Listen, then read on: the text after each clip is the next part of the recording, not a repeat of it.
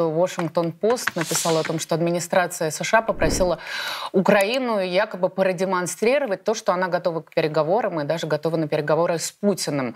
Вы и правда получали какие-то подобные сигналы? Марфа, смотрите, во-первых, я немножко вернусь на тему матери и жены, а, Хорошо. скажем так, мобилизованных. Да, мне кажется, что все-таки вот смелости еще нету, да, вот смелости защищать членов своей семьи еще нету. Все еще часть людей, часть, большая часть общества российского находится вот в эйфории, э, пропагандистской эйфории. Им кажется, что это какая-то легкая прогулка. И вот мы до сих пор еще видим, что большая масса пишет о том, что можно приехать, там кого-то убить, расчленить и так далее. Это достаточно просто. Это как квест в игре, да.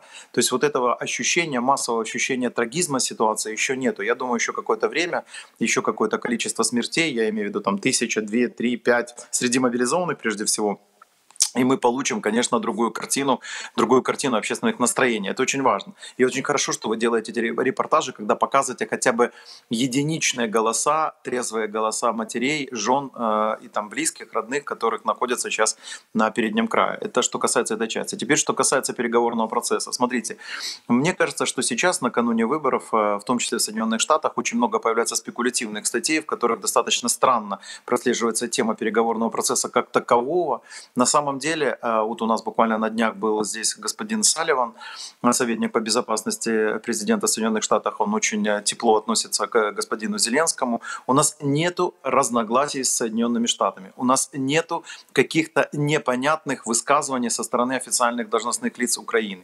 Мы четко артикулируем свою позицию. Безусловно, Украина переговорного процесса как такового. Вопрос в том, что Россия не хочет переговорного процесса. Россия хочет немедленного исполнения Украиной ультимативных требований. То есть признайте факт оккупации, отдайте нам часть территорий, и в принципе тогда мы можем с вами выйти на временное перемирие. Украина четко понимает, что переговорный процесс действительно возможен только при выполнении базового условия, о котором господин Зеленский постоянно говорит. Это вывод вооруженных сил Российской Федерации за пределы территорий, оккупированных территорий, включая Донбасс и Крым, и, соответственно, выход на э, международно признанные границы э, Российской Федерации. То есть, таким образом, мы вернемся в международное правовое поле. В рамках этого международного правового поля, конечно, мы сможем обсуждать те или иные вопросы, в том числе по э, взаимоотношениям между Россией и Украиной. До момента вывода никаких, конечно же, переговорных процессов не будет, потому что Россия, еще раз подчеркиваю, не собирается вести переговоры. То есть я бы здесь расставил э, акценты иначе.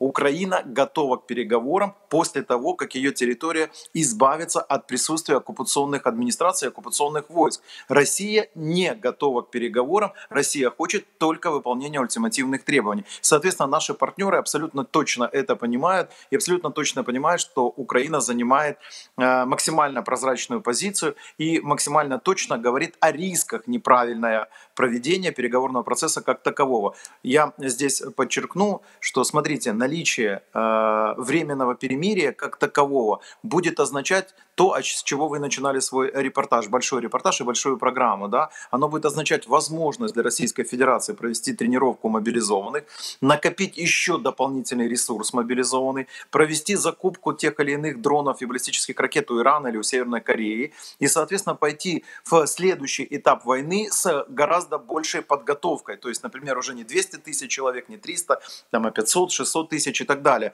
То есть вы понимаете, что Россия не хочет на сегодняшний день, пока не Э, решить те или иные э, территориальные, или э, я бы даже шире сказал, уничтожение правительства, нынешнего правительства Украины как концепции, Россия не остановится. Поэтому переговорный процесс возможен только после того, как Украина сможет на поле боя доказать свое превосходство.